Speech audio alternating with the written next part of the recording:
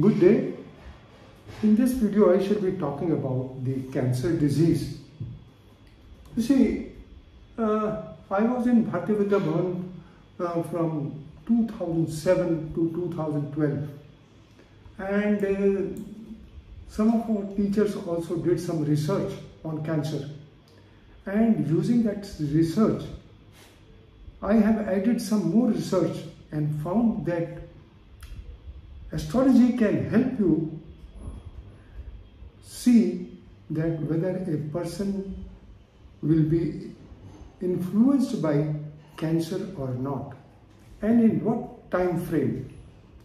So the reason is that uh, my wife also suffered from cancer, my sister-in-laws also suffered from cancer and very recently in the month of April on the 22nd of April my daughter was also diagnosed with ovarian cancer. I knew that she would suffer from cancer. I had told her to be very cautious in the last two years and the coming year, especially the coming year when Jupiter will be over Jupiter and Rahu will join Jupiter and when Rahu will eclipse Jupiter. So on the 22nd of April 2023, Rahu had eclipsed Jupiter and she was diagnosed with cancer. I had shifted my residence on the 13th of April and there was no such sign till 17th of April. But she helped me shift my house and on the 18th I convinced her to go for a checkup because at the time of changing my residence Jupiter was combusted and I could feel that my child could suffer some troubles but whenever Jupiter is combusted or in Rahu Ketu axis it is a time for trouble for children although I don't have any such combinations in my chart. But the progression chart did show that my daughter will suffer from cancer.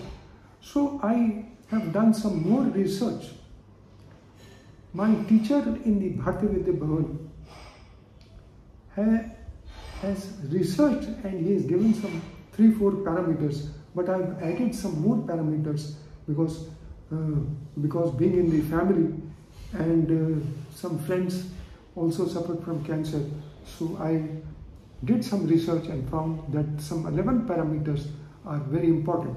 I would also like to tell you that when I was in Bharatiya Vidya Bhavan in 2009, when I was in my class, two girls sitting next to me, they were talking about some cancer disease. And one of the girls said that her mother suffered from cancer. My research then was that whenever Rahu and Ketu change sign, then it is the time for activating the cancer because Rahu is Rog Harnam, Ketu is Rog Karnam. Ketu gives the disease and Rahu brings it out to wash it. But if you have a bad Rahu, in your chart, then probably the cure may not be very good until unless it has aspect of Jupiter. So they were talking about it and I said, uh, I intervened and I said, sorry for intervening. I will tell you when your mother-in-law got cancer. I said, do you have a Aries Lagna? She said, yes. Now, Fourth house from seventh house is the fourth house from the seventh house is the house of mother-in-law. So the tenth house of the native. I said on 6th of May 2008, Rahu and Ketu changed signs from from Aquarius Leo axis to Capricorn Cancer axis. So I said this is the time of triggering and normally it takes place when it triggers at the time of change or when it eclipses some planet which is in Sarp Deresh moon or Saturn is the Dreshkun lord or Jupiter is in Sarvdreshkon, Ketu in uh, Sarvdreshkon and Moon in Sarvdreshkon are very important. And especially the sixth lord in the Sarvdreshkon is prone to all this. Of course, we have other parameters, total about 11 parameters, and the transit is also very important.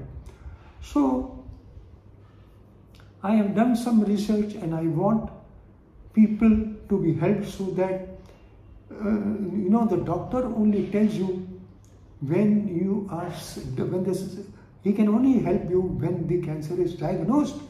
But astrology can help you to improve your habits, eating habits, your environment, your period in which you are going to suffer. You can have regular checkups so that the cancer is detected at an early age.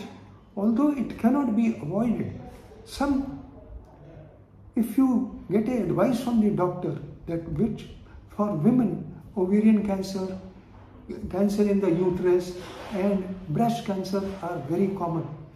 So, and in case of males, prostate cancer is very common. So, especially these cancers can be diagnosed very easily and the time period. Now, prostate cancer normally takes place in men over the age of 60 and ovarian cancer and cancer in uterus are on the after the 48th year Especially, you know, you have to take the LCM of Saturn, Rahu and Jupiter. That is very important. And then the years in which Venus and Jupiter are at declination point. Venus is the reproductive organ. Jupiter controls the fifth house and Ketu is the disease karak. So all these parameters are very useful, the Dasha at birth, 22nd Dreshkun, the planets in Sarp Dreshkun. Now I will tell you, in the case of my daughter, Saturn transit from the 17th January 2023 was in the sign Aquarius.